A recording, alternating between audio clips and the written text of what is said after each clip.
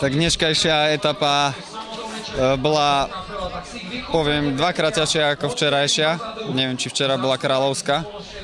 Od štartu sa vlastne začalo hneď závodiť do zjazdu zo Štrbského a potom vlastne do kopca e, sa nastupovalo, vlastne išiel sa šrot a vlastne ku koncu nás tam zostalo možno tak 15 ľudí a vlastne žlťák sa tam ocitol sám a my sme mali za úlohu sa spojiť s rakúskym tímom Velsom a zautočiť a spraviť takú skupinu, ktorá by mohla možno relatívne dojsť do cieľa. Takže najlepšie sa išlo Tratníkovi s Kustorom. Tratník tam vlastne udával v tej skupine vpredu e, tempo a u nás vlastne v tej druhej, vlastne Žlťak si to musel sám na štrbské pleso zížďať a vlastne to bolo neskutočné tempo, tam sme išli proste vaty cez 500 vatov, to bolo šialené. Všetci tam vlastne mali dosť. No a potom vlastne sme zozjazdovali, sa to ukludnilo, spravil sa nejaký únik, tam sme mali zase skústora, ale to zase Ukrajincom nevyhoval, tak sa to zase začalo zížďať, až, až za Mikulášom sa to zišlo.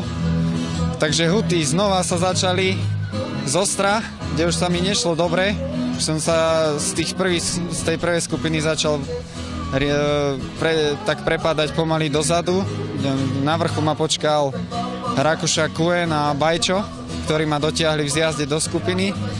No a vlastne potom za, za hutmi sa to úplne spojilo, ešte aj zozadu nás došli tí, čo odleteli na hutoch a začala, začali sa tu skladať týmy, lajny na, na cieľový šprint, tí vlastne, čo nemali v úniku nikoho a my sme sa zložili 5 km do cieľa a potom sa ešte tratník pýtal, že ako sa cítim a vrajem nie najlepšie, tak vlastne ja som zostal taký čierny Peter predposledný v lajne, že budem možno špurtovať a pôjde sa na tratníka.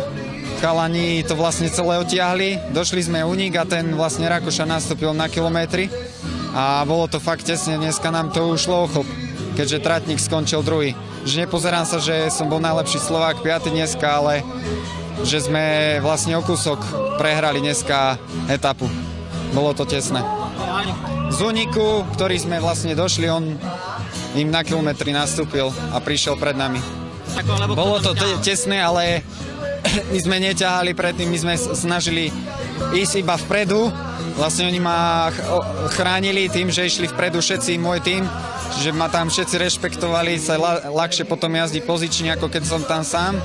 No a prišli, vlastne na 5 km nemal kto ťa, tak prišli naši, ktorí vlastne udávali tempo a veril som, že to bude tesné, že ich dojdeme. No a ten Najberger fakt je veľmi dobrý závodník a mu to dneska vyšlo. Dneska to bolo veľmi ťažké, takže neviem, čo od zajtrajšia, zajtrajšku očakávať a prežiť.